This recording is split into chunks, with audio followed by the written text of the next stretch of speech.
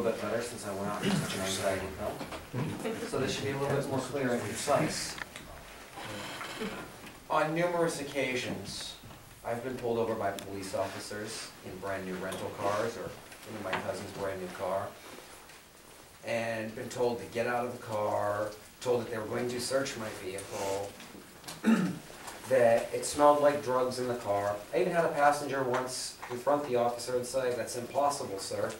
And the officer said, your friend has a bad attitude, you gotta do something about it? All of this became non-existent when I put a dash cam on my dash.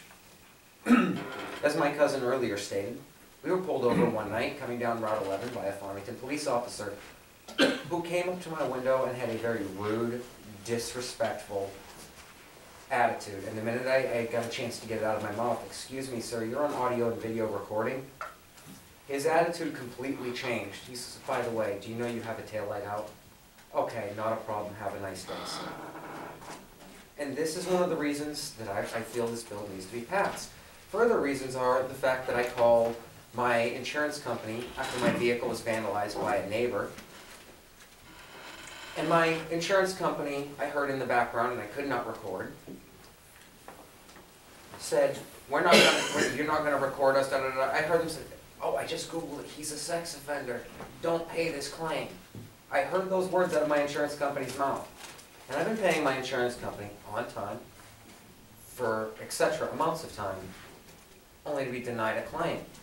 I think that's inadvisable, especially when I made notations with the Franklin Police Department with video proof that my vehicle was being vandalized by my downstairs neighbor. To which the Franklin Police Department stated in my apartment, and if I'd known I could have recorded them in my apartment at the time, I would have been, oh, well, other people feel differently. And to which nothing was done. And of course, if I could have then had notification, uh, lack of notification to protect myself from interactions with devices such as this, I would have caught in the threats that my downstairs neighbor had threatened me with, and who had threatened to kill me and spit in my face. And therefore, I would have been able to prosecute him and put him off of the streets. But the Franklin Police Department feel differently about it. That's all I have to say. Any questions? Christina, thank you, Red. The last card I have is Howard Zibble, and I think Howard is not here.